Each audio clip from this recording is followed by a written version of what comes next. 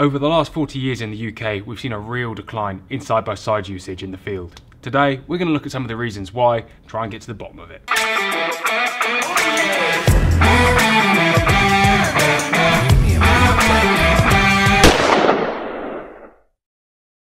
Before we start, I should probably say this is going to be a little bit of a side-by-side versus over and under. Mark II, really in favour of the over and under, looking why people are moving in that direction very much more than the traditional side-by-side. We're going to start with some of the positives of a side-by-side and then look at some of the reasons why they just don't sit in society anymore. The first positive I want to talk about is the value for money. Obviously supply and demand is a fairly big thing.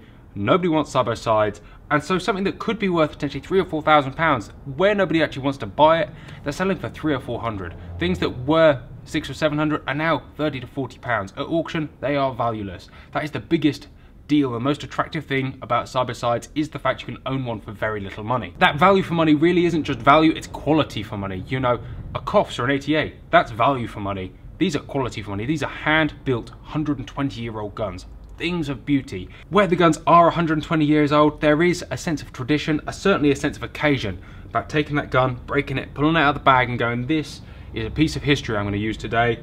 I want to keep tradition alive. I'm going to keep this piece of history alive. And there is nothing quite so nice about using an old side-by-side -side to go and have a bit of fun. Last positive is that a cartridge will do what a cartridge will do. It doesn't matter whether it's in a side-by-side -side tube or an over and under tube. If you point that gun in the right place, they will both kill the birds the same. This can be seen when looking back at ancient game books, ancient 120 year old game books, when they were out killing hundreds of brace of wild birds a day with side-by-sides. So they are just as good at killing, in theory. Alright, so now we've blown a bit of smoke up a side-by-side's arse, let's move on as to why they really are in massive decline. The biggest single factor is this. People nowadays don't learn by walking up hedgerows with their father, their uncle or their friend. They want to learn to shoot, they go to a shooting school. And if their friends shoot, it's at a playground. And as such, those clay bashing drain pipes of old that were slated and never allowed near a pheasant, well, that's what people pick up. And if they go for a lesson, that is what someone will put in their hands. This is for many reasons. The first, over and unders are harder. Parts are more available, they are generally more machine made. If your Beretta firing pin breaks, you get one out of a pot, you stick it in the hole, you close the gun up, and you're good to go again. If your firing pin breaks in a nice old quality side by side or even a low quality side by side, you gotta spin the lathe up and make a new one. Second and probably most importantly, it is significantly easier to get people hitting clays with an over and under. The fact that the fore end is deeper, the pistol grip is there, gives a lot more consistency, a lot more control over the gun. You can aim over that single sight plane rib that hangs above, it's an uncluttered sight picture. You can shoot it like a rifle, you can shoot it maintainedly, that bit easier. Your sight picture just is more obvious to a beginner. And as such, once you've been and learnt on an over and under, the last thing you're going to do is walk into your local gun shop and go, I'd love a side-by-side, -side, please. Oh, are you? Even if you do want to buy a side-by-side, -side, you're going to go into the shop and there's going to be 10 to 20 to 1 over and under to side-by-side. -side. And as such, the choice in over and under is just that much more nowadays. Where a lot of side-by-sides are getting older and their value is dropping, people aren't choosing to repair them and the scrap bins really are piling high. 30 or 40 years ago, these guns were totally worth doing up, which is why you see 30 or 40 year old sleeving jobs, restocks and things like this to keep these old guns going. And now, one generation later, it's just not worth it. Again, starting on over and under and going to a side by side is really quite difficult. Once you've learned to shoot an over and under with the big hands and so on and so forth, not saying there's not side by side live pigeon guns that are very similar to an over and under in the way they feel and handle, but they are either rare and crap or you know, you're looking at three or four thousand as opposed to a, a thousand pound for a second hand Beretta that's going to possibly be a wiser investment. The problem with moving from a single trigger to a double trigger, it's just not an easy thing to do. Although actually, that's a lie, it's a really easy thing to do, but it's not, it's another barrier. And barriers, these micro barriers, are why people just go, I started on over and under, might as well buy an over and under. All my friends shoot an over and under. It takes a real gentleman to go, you know what, I'm going to keep tradition alive and in reality, nobody wants to hit less.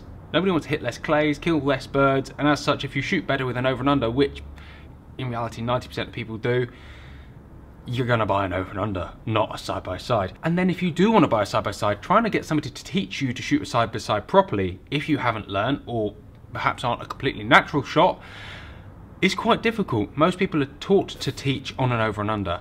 And as such, translating that into a side by side, it's a very different style there's very few very high quality side by side teachers. Finally, as I said, they're becoming less fashionable. It's perfectly acceptable always to go on a game shoot with a side by side, but they're now more fascinating than they've ever been. I know there are some syndicates out there that will refuse to let, let you entry with an over and under, but at the same time, side by sides are diminishing in the field. There's no doubt about it. So I'm sure a huge amount of you will disagree me on this, but I'm not wrong because the market really is going that way. A mixture of fashion, tuition, and just the way the world's going really means that side-by-sides are dwindling. Yes, we sell a lot of cheap ones because who wouldn't want to own a £100 gun to put in the back of the cabinet take out as a novelty? And yes, there's still a market for the really high-end ones for people who just appreciate quality. However, I think that's pretty much the way it's going to go. I can't see a revival. The problem is they have smaller chambers in the older ones, they don't take steel, they're less versatile than an over and under or a semi-automatic. Period. Most people now want a steel shot proofed gun with multi-chokes and that in a side by side comes in at high high money. I think the real thing that scares me here is that when I was a kid and 20 years ago, over and under still hadn't taken a full hold and there was still enough out there that in a shooting field you'd see full teams of guns shooting side by sides again and again and again. And over the last 20 something years, I've watched that diminish. And I genuinely am worried, and here's where you're allowed to get angry at me, that one day people will be allowed to shoot semi-automatics in the shooting field at pheasants. And I think that is where I'm going to end it. Guys, thank you very much for watching. Take care. Goodbye. And I'll see you next time.